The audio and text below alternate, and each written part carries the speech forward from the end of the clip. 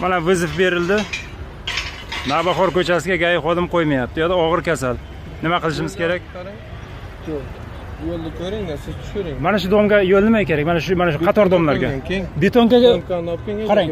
men yo'q yo'q men yetarli yo'q yo'q iltimos meni ko'rsating. yo'q men ko'rib turibman ko'zim ko'rmas. Ko'r odamga ko'rsating. Mana shu betonkagacha borsak bo'ladimi? Betonkagacha borolmaysiz. bu piyoda nimaga boradi? Tekis asfalt yo'lku. Yo'q. O'sha asfalt bo'yidan kirib chiqsa bo'ladimi vrach? Yo'q, kira olmaydi u yerdan. Shu yerdan. piyoda kirsa? Olib chiqishga to'g'ri kelsa kasalni Olib chiqishga to'g'ri kelsa, o'sha yerga ruxsat beramiz. masxarabozlik emas kasal o'lyapti kasal o'lyapti. Mana vizit bering kartani. Mayli mayli tushiring yuboramiz. Mayli tushiring kasalni yig'ishtirib kelsachi. Familiyasi siz kimsiz? Nimaga aralashyapsiz siz nima haqqingiz bor aralashishga? Familiyangiz aka. Boring.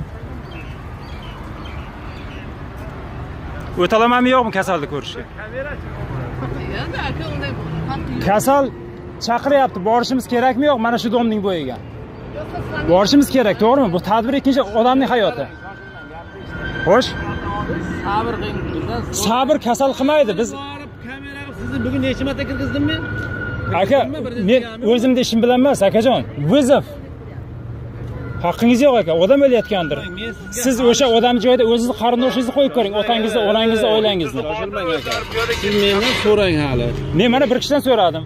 Sizga men bugun kirgizdimmi kirgizdingiz muammo yo'qmi? Muammo yo'q. Qo'ying telefon hozirchi? telefonni yig'ishtiring hozirchi aka hozir nimaga kirgizmayapsiz? Telefonni yig'ishtiring opam turibdi